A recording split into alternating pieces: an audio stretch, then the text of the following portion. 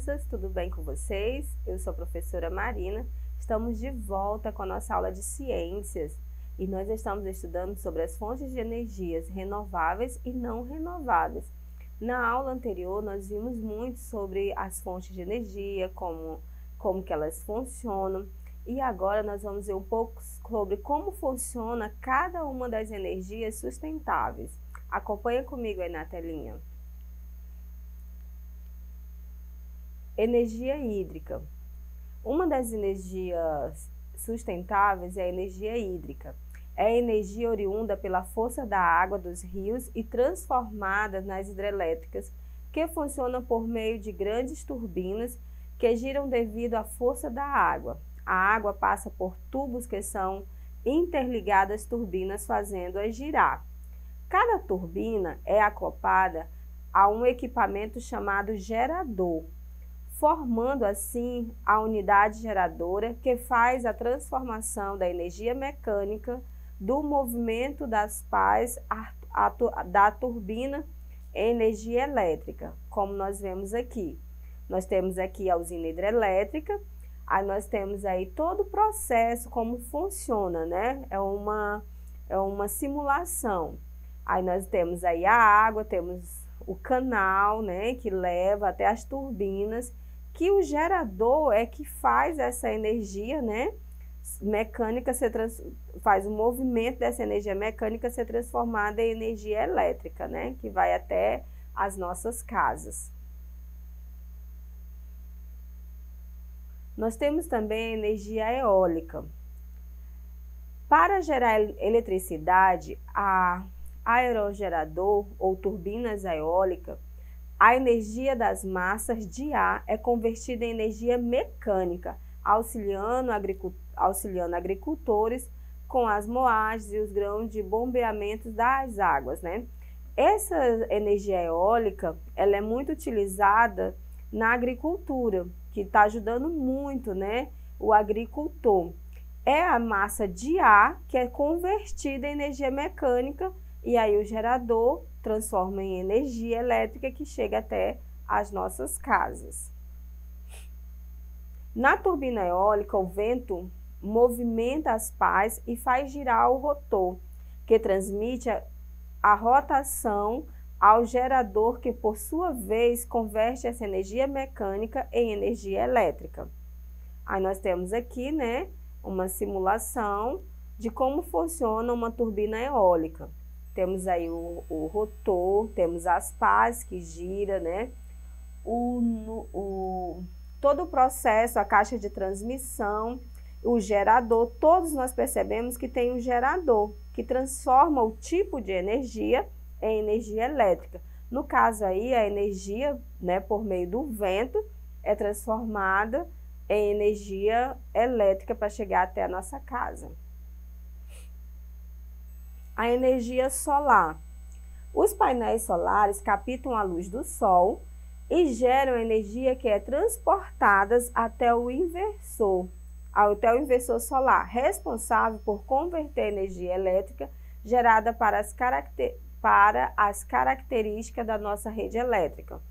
Aqui, né, já pega a energia captada do Sol, nós temos aqui o simulador também, os painéis solares, né, captam a energia solar, passa pelo processo de, do inversor, que transforma essa energia do Sol em energia elétrica através do gerador, do inversor, ele é transformado e vai também até né, as nossas redes elétricas. A energia geotérmicas. As usinas geotérmicas são responsáveis por converter o calor interno da Terra em energia elétrica. Aqui já é pelo calor a geotérmica.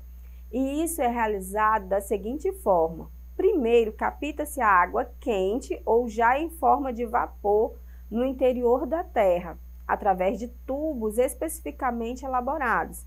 Direciona-se esse vapor que é, é, que é liberado sob for, forte pressão. O vapor liberado move as turbinas que giram mecanicamente. As turbinas acionam o gerador que produz energia elétrica e, em alguns casos, o vapor é armazenado e aproveitado quando é convertido em água. Aí nós temos aqui, né, uma simulação que você pode observar lá no espaço quente. Nós temos aí esses turbos que captam a água. Também temos o gerador que transforma essa energia, esse vapor ou água quente, em energia elétrica.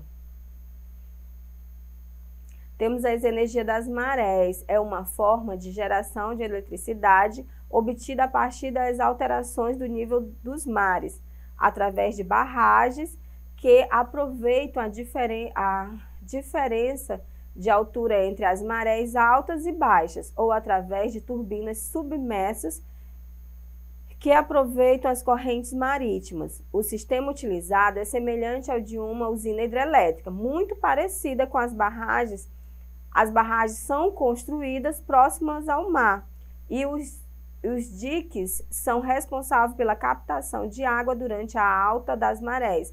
A água é armazenada e em seguida é liberada durante a baixa da maré, passando por um, uma turbina que gera energia elétrica. Muito semelhante né, às hidrelétricas. A energia das ondas. Os sistemas da, da usina do Porto do Pacem é composto por flutuadores, braços mecânicos e bombas conectadas a um circuito de água doce.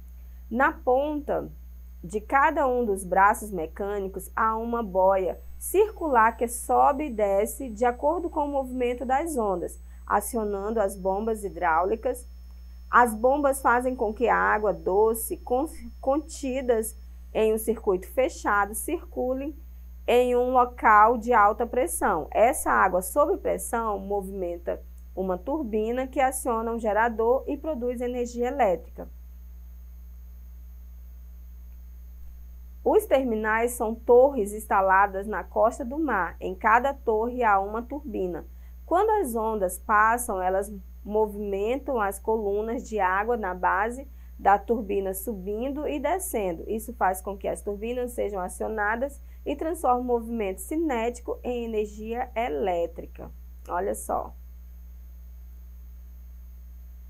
Energia biomassa. Uma usina de biomassa funciona usando vapor produzido pela combustão de materiais orgânicos. O vapor rotaciona uma turbina conectada a um gerador que gera eletricidade.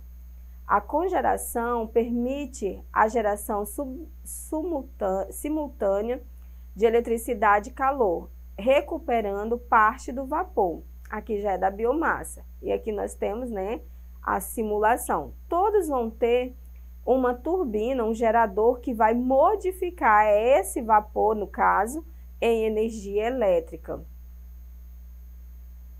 As fontes de energias não renováveis, todas as que nós vimos anteriormente foram as renováveis. E as não renováveis, combustíveis fósseis, esses tipos de materiais são utilizados para gerar energia através da combustão, que são reações químicas adquiridas com a mistura de diferentes produtos. A queima de combustível como madeira, gás natural, petróleo ou carvão vem sendo utilizado há centenas de anos pela humanidade para produzir energia térmica. Queimados gás com é, gás butano para cozinhar, gasolina para mover os carros, carvão para produzir energia elétrica. Em todos esses processos, a combustão é utilizada para gerar calor a partir de uma reação química exotérmica de oxidação do combustível. Aqui nós já estamos vendo, né, outros processos de energia, não só elétrica, né, mas que também gera energia elétrica, mas gera a energia do gás natural, que nós utilizamos no gás de cozinha também, a gasolina para utilizar nos carros e até a energia elétrica. Aqui uma simulação. Combustível mais é, comburente mais energia ativada. Resíduos sólidos, gás, transforma-se em energia. O combustível pode, pode ser o gás, a gasolina, a madeira ou o carvão. O comburente pode ser o gás oxigênio do ar e a energia da ativação pode ser uma faísca. Os resíduos sólidos são as cinzas de cinzas e os componentes de metais pesados. Somente a presença de combustível e do combu, comburentes não garante o início do processo da combustão. Então, precisa ter todo esse processo para gerar energia. Usinas nucleares. As usinas nucleares contêm uma estrutura que é denominada vaso de pressão. Nela, para funcionar, a água usada para refrigerar o núcleo do reator, onde está com o combustível nuclear. A água circula no gerador de vapor em uma estrutura chamada de circuito primário. Quando o circuito primário aquece, uma corrente de água passa por dentro do gerador, que é o circuito secundário. E aí é transformado em energia elétrica que chega até as nossas casas. Agora vamos para a questão número 1. Um. De acordo com o que, que foi estudado sobre fontes de energias, responda qual das alternativas abaixo é a correta. As fontes de energia são todas renováveis? E aí, de acordo com o que a gente estudou, todas as fontes de energia são renováveis? Alternativa B. O vento é responsável pela energia eólica? Diante do que nós estudamos, nós vimos que sim, o vento é o responsável pela energia eólica, né? Mas vamos ver as outras alternativas.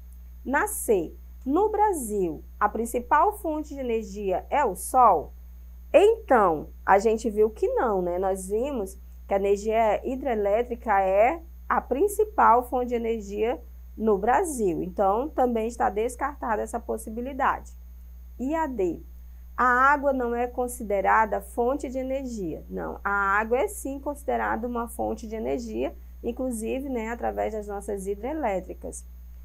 Ah, então nós só temos a alternativa B, né? O vento é o responsável pela energia eólica. Esse é o nosso gabarito. Certinho? Muito bem. Vamos para a segunda questão.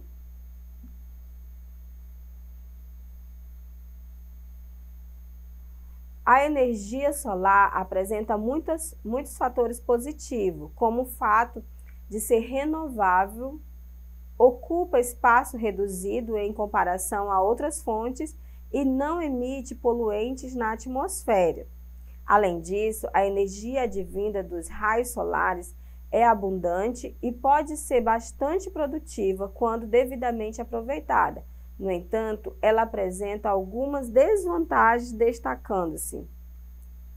Quais são as desvantagens da energia solar? Alternativa A: a baixa necessidade das regiões de maior insolação. B. A frequente necessidade de manutenção. C. A inacessibilidade em lugares remotos. D. Os elevados custos nas instalações. Então, apesar da energia solar ser uma das mais positivas, né, renováveis, nós temos um fator que que é muito caro, né? Os elevados custos dessa energia. Por isso, né, ela não é tão utilizada, por conta dos elevados custos nas instalações. Mas nós vamos finalizar por aqui. Acredito que você tenha entendido bastante. Quer rever essa aula novamente? Acesse a plataforma Eduque. Nela você tem acesso a essa aula e às outras. Até mais!